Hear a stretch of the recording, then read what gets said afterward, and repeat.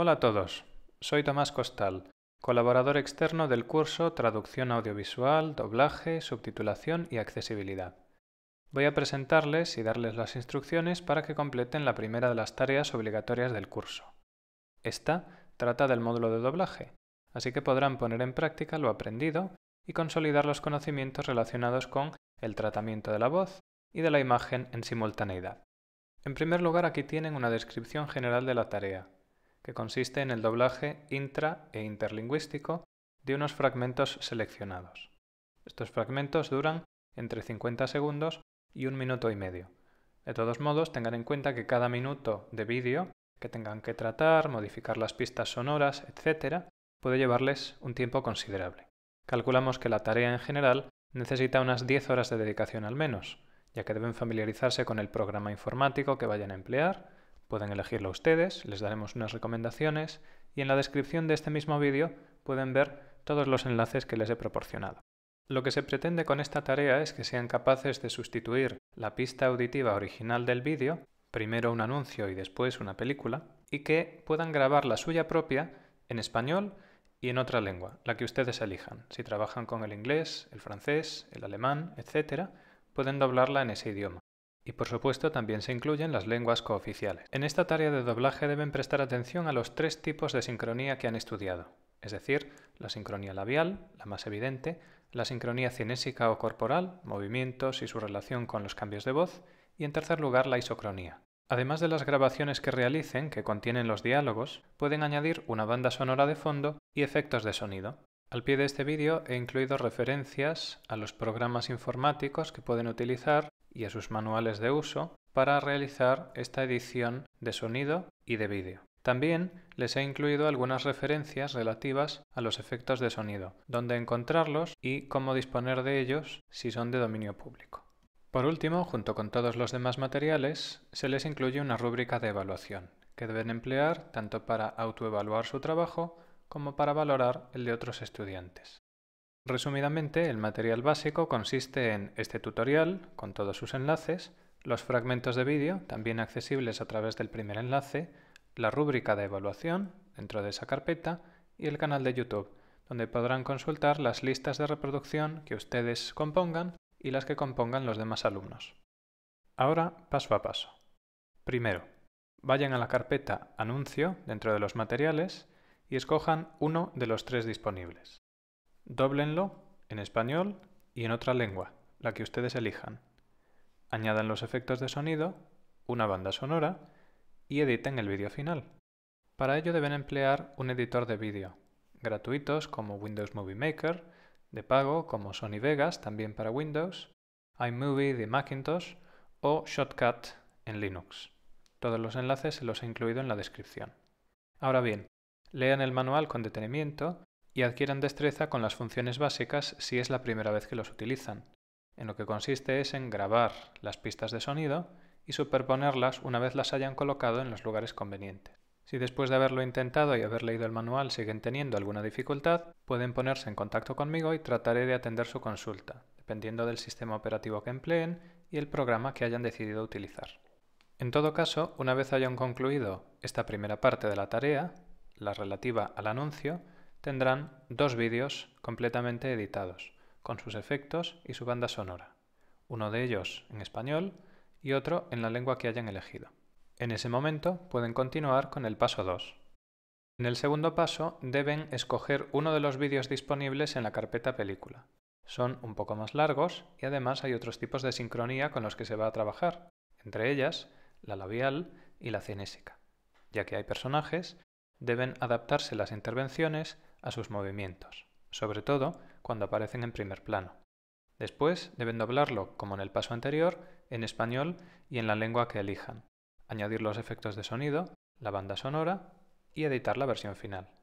En total, primer y segundo paso darán lugar a cuatro vídeos, dos en español y otros dos en la lengua o lenguas que hayan elegido.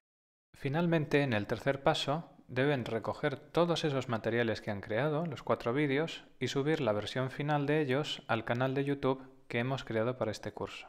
Además, deben crear una lista de reproducción con su nombre que los contenga a los cuatro. Dentro de un momento les mostraré cómo acceder al canal, cómo subir su trabajo e identificarlo y también cómo utilizar la rúbrica de evaluación para autoevaluar esos cuatro vídeos que han producido y hacer lo mismo con los vídeos de al menos dos de sus compañeros. De ese modo, habrán terminado la primera tarea obligatoria. A continuación les presentaré un ejemplo resuelto de cada uno de estos dos pasos. Empezaremos con el anuncio Teeth 3 de la carpeta Anuncio y después pasaremos al fragmento de película. Vean cómo la versión original dispone de una banda sonora y también de una voz en off, es decir, una voz solapada a la imagen. Sin embargo, no dispone de efectos de sonido, que es algo que ustedes sí que deben incluir. Vamos allá. Aquí tienen la versión original del anuncio 3. Portrait of a young man who knows where he's going. He's an alert student, learning for the future.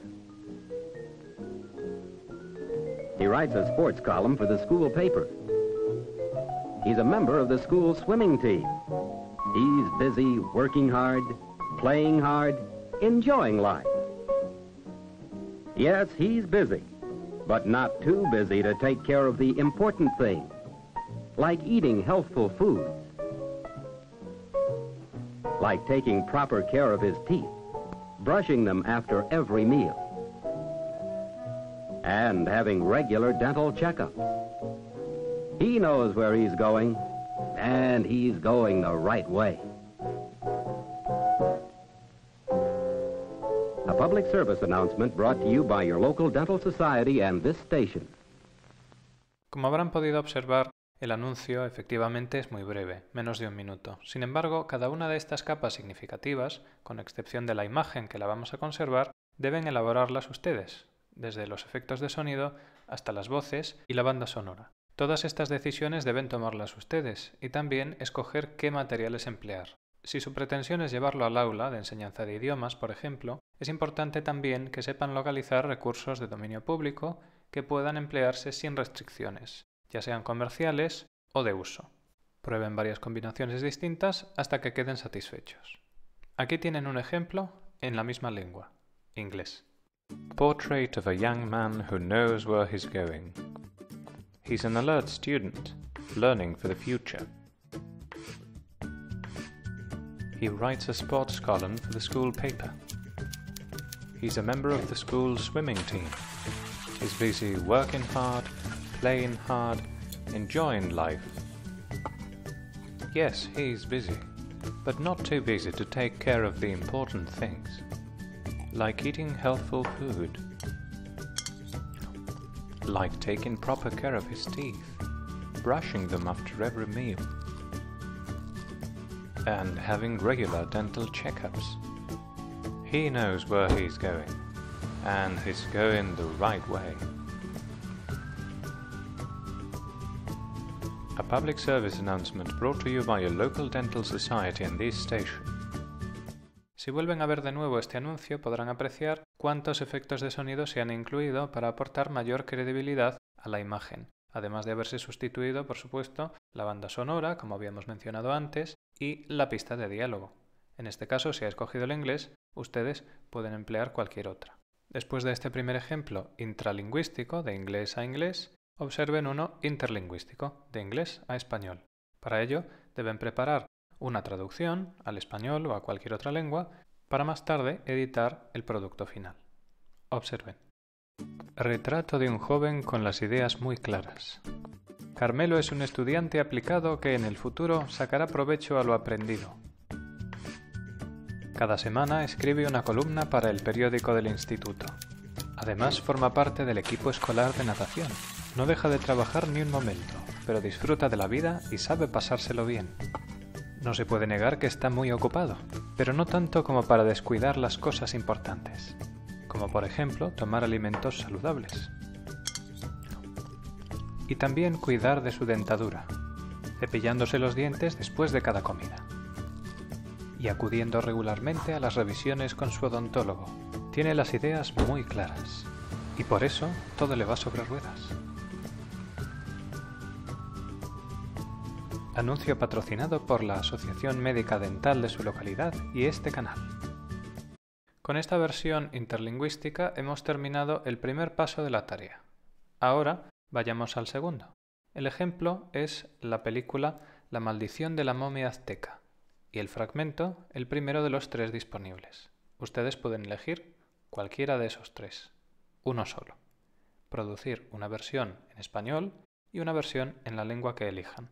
El procedimiento es muy similar al caso anterior, pero en esta ocasión tienen varios personajes distintos y sincronías labiales, lo que supone añadir un nuevo grado de dificultad. Vean la versión original en la que intervienen un total de cuatro personajes, a cada cual más variopinto. Bueno, creo que por fin vamos a tener tranquilidad ahora. Con el murciélago en la cárcel, todo terminó. No, no todo. ¿Te olvidas de la maldición de los dioses? También eso se acabó. No. A mi padre le costó la vida el profanar una tumba azteca. Y según la maldición, primero morirá el padre y después yo, su hija, que fue la culpable. Por favor, Flor. ¿Quieres olvidarlo? Mientras la momia tenga el pectoral y el brazalete bajo su custodia, no volverá a la vida. Escucha, una vez que hayas dejado el luto, nos casaremos y yo te haré olvidar todo con mi cariño. Mientras tanto, quédate aquí con nosotros. Mi hija y yo te necesitamos. Qué bueno eres.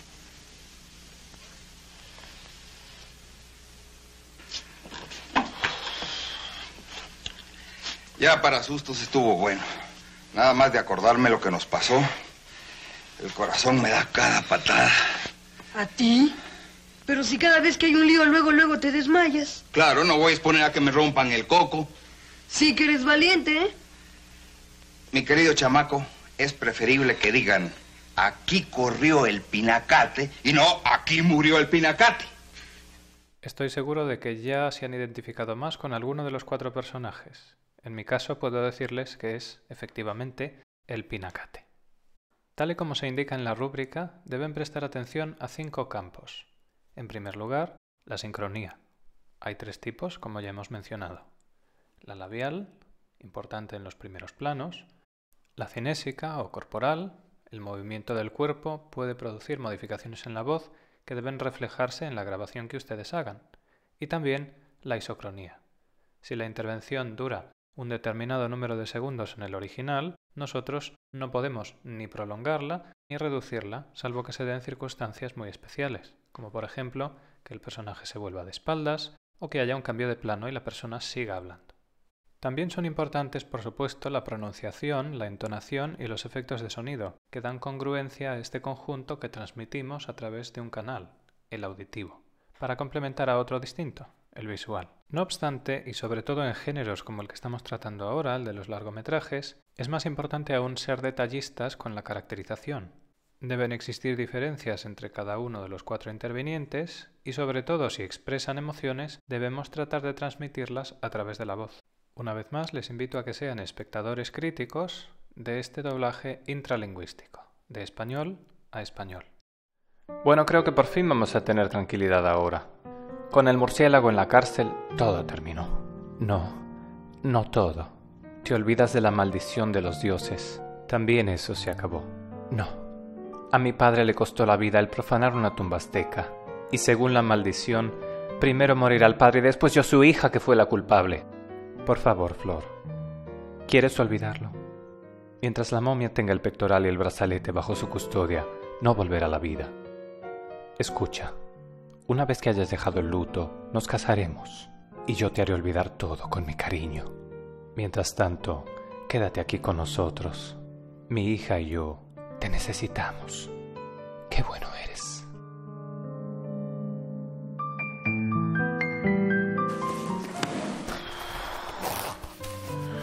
Ya para sustos estuvo bueno. Nada más de acordarme lo que nos pasó. El corazón me da cada patada. ¿A ti? Pero si cada vez que hay un lío luego luego te desmayas, claro, no voy a exponer a que me rompan el coco. Si que eres valiente, ¿eh? Mi querido chamaco, es preferible que digan aquí corrió el pinacate que aquí murió el pinacate. Como práctica inicial para tratar los distintos tipos de sincronía, sin ninguna duda, el doblaje intralingüístico de un idioma al mismo idioma es mucho más sencillo para el aprendiz. Al fin y al cabo, emplear las mismas palabras con unos movimientos labiales muy semejantes resulta más fácil que hacer lo mismo con una traducción. Sin embargo, como ustedes podrán comprobar, cuando hagan la traducción al idioma que hayan escogido y traten de encajar esas palabras en la boca extranjera, hay ciertas técnicas que pueden emplear. Una de ellas sería modificar ligeramente el contenido para que la traducción se ajuste mejor a esas bocas. Juzguen ustedes mismos el resultado del doblaje interlingüístico de español a inglés, donde la maldición de la momia azteca se convierte en Curse of the Aztec Mummy. Well, I think it will feel much better now that this case is cleared up. The bat is going to go to jail, so there's nothing to fear now. No, I don't agree. You are forgetting about the old curse, aren't you? That business is all over now. No, my father died when he profaned the tomb of the Aztecs. According to the ancient curse, my father was to perish, and me too, because they also blame me. now stop that. Why worry, Flora? As long as the mummy has the breastplate and the bracelet in his custody, he won't wake up here. Now you listen. I want to take you to the altar soon. I really do. Then you can forget all that's past, darling. But till that day, can you stay here at the house? My daughter's alone. She and I need you so much. You're so good to me.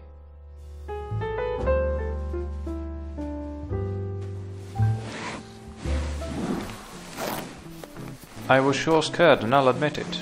Each time I think about all that's happened to us, the old ticker starts complaining like crazy. Are you kidding?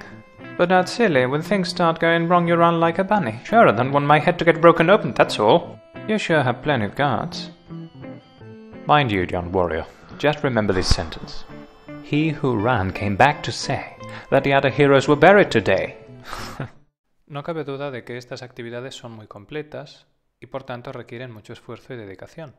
No obstante, también es muy satisfactorio observar los resultados finales después de todo ese proceso de trabajo, ya sea individual o colaborativo, según se haya establecido el proyecto, y poder publicarlo, compartirlo, compararlo y evaluarlo con respecto al de los demás.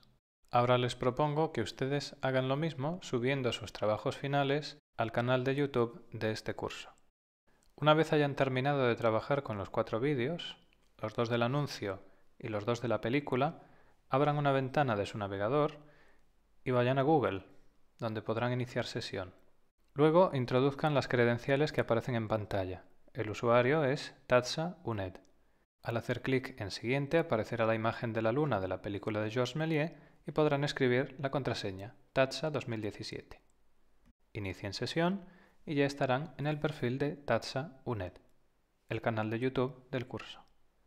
Vayan a YouTube, abran la ventana y diríjanse, una vez observen que sigue el mismo logotipo de la luna de Georges Méliès, a mi canal. En mi canal podrán ver todos los vídeos que estén ya subidos. Denle al botón de subir, arriba a la derecha, comprueben que en la privacidad de los vídeos que vayan a subirse se indica público y arrastren todos sus trabajos desde el escritorio o la carpeta donde los tengan a la página web que acaban de abrir. Una vez los suelten, empezarán a cargarse. El tiempo de carga dependerá de su velocidad de conexión. Luego, añadan un título a cada vídeo, escriban su nombre en la descripción, en mi caso, Tomás Costal, UNED, y las etiquetas ya se han añadido automáticamente, porque se han establecido los valores predeterminados de esta tarea. Hagan lo mismo para los demás vídeos que suban. Nombre, identificación, etiquetas. Aquí Tomás Costal de nuevo, otra vez en el tercero y una vez más en el cuarto. En cuanto los vídeos se hayan cargado y procesado, las imágenes empezarán a mostrarse correctamente.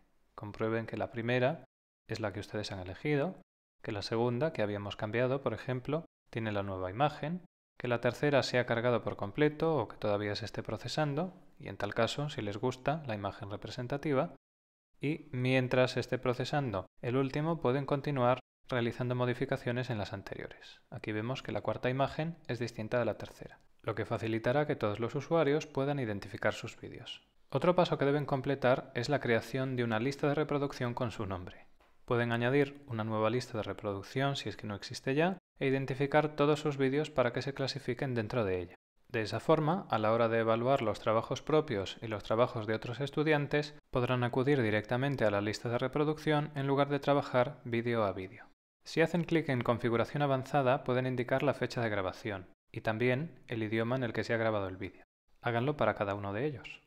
configuración avanzada, pestaña de arriba a la derecha, fecha de grabación y pueden poner hoy o una fecha de calendario. Hagan clic en hoy para cada uno de ellos, si los suben todos a la vez. Cuando hayan terminado, pueden comprobar cuál es el idioma del vídeo. En el primer caso, dientes, español. En el segundo, marcaremos inglés o la lengua que hayan escogido. El siguiente, que era la película, una vez más, español e inglés. Este que se titula abreviadamente La maldición de la momia azteca será el español y este otro, por descarte, en inglés. Curse of the Aztec Mummy, primer fragmento. Con esto hemos terminado y podemos pulsar el botón Publicar todos para que los cuatro vídeos se suban al mismo tiempo al canal y se clasifiquen en la lista de reproducción. Este proceso puede requerir algo más de tiempo dependiendo de la velocidad de su conexión y en el momento en que pulsen en cualquiera de los vídeos que acaban de subir, se reproducirán directamente en una ventana o pestaña nuevas. Por ejemplo aquí, dientes número 3. Retrato de un joven con las ideas muy claras. Todo parece funcionar correctamente y además está bien identificado. Ahora en la sección de comentarios podemos realizar la autoevaluación. La autoevaluación debe seguir la rúbrica que se les ha proporcionado. Los campos son sincronía, que pueden abreviar como S y añadir los puntos que consideren que merecen, pronunciación, entonación, caracterización, efectos de sonido y la nota total. Debajo de la nota pueden añadir los comentarios acerca de lo que les ha resultado difícil, lo que no han entendido o lo que les ha resultado novedoso. Una vez hayan terminado, publiquen el comentario y amplíenlo para ver que todo es correcto. Luego, si desean hacer lo mismo con el trabajo de otro compañero, pueden responder a un comentario anterior y en ese comentario deben indicar que consideran que han hecho bien o mal, aportar una puntuación alternativa basada en la misma rúbrica para poder valorar cuál ha sido la diferencia mayor entre cada uno de los cinco campos y por supuesto deben repetir este proceso con al menos dos de sus compañeros en cada uno de los cuatro vídeos que hayan publicado. En otras palabras, la rúbrica debe emplearse para autoevaluar los cuatro vídeos y evaluar ocho vídeos en total, cuatro vídeos de uno de sus compañeros y otros cuatro de otro compañero distinto. Para ello, pueden recurrir directamente a las listas de reproducción ya creadas, utilizar la rúbrica y añadir sus comentarios en forma de respuesta a la autoevaluación. Con ese paso, concluye la tarea. Les doy las gracias por haber visto este video tutorial y espero que les sirva de ayuda mientras realizan la tarea número 1. Todos los materiales están disponibles en los enlaces que figuran al pie. Y recuerden, si les surge cualquier duda después de haberlo intentado, contacten conmigo y trataré de ayudarles. Un saludo y hasta pronto.